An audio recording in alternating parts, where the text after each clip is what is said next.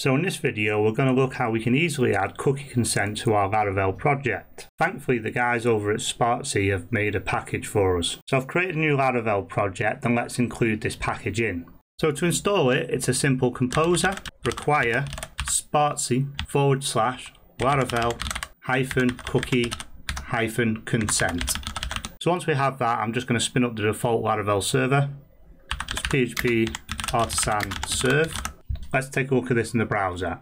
So as we can see, at the moment, we don't have any kind of GDPR cookie consent. So let's add this in now to our views. So under the root of our project, if we come down to resources, views, I'm just going to put this into the welcomeblade.php. You need to put this in somewhere that will be displayed on every page. So if you have like a header partial, or if you're using the default Laravel or scaffolding, that'll actually give you a header file in the layouts folder. But for this, we're just going to drop it into the welcome.blade.php file. And then inside of the body, we just want to do an at include, and then we want to include the cookie consent index. And that's it, that's all we have to do. So let's take a look at this in the browser.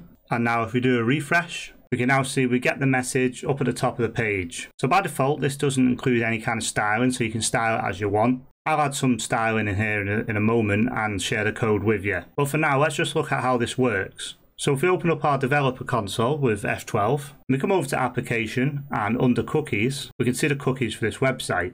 So notice how we have four cookies here now. So if we click OK to allow, and if we just give this page a refresh, you can see here we have a Laravel underscore cookie underscore consent cookie with a value of 1. So once the user has this cookie on their system, they won't be displayed that message anymore. So let's just delete this cookie so we can get it back and give it some styling. So to do that, we just select it and then hit delete. Now if we refresh the page, you can see we have our message back. So we can see the cookie consent is wrapped in a class. So let's target this class and style it. So under resources, Sass.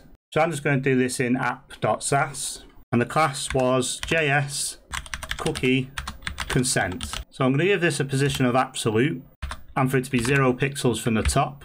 I also want to give it a padding of 10 pixels and I want to align the text within the center so we need to give this a width of 100% also.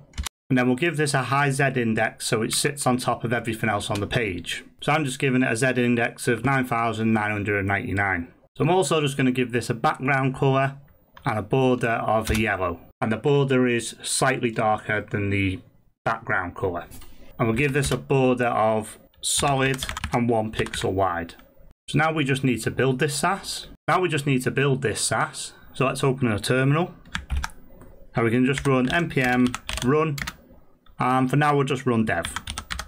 So once that is complete, we just need to add this style sheet into our blade file.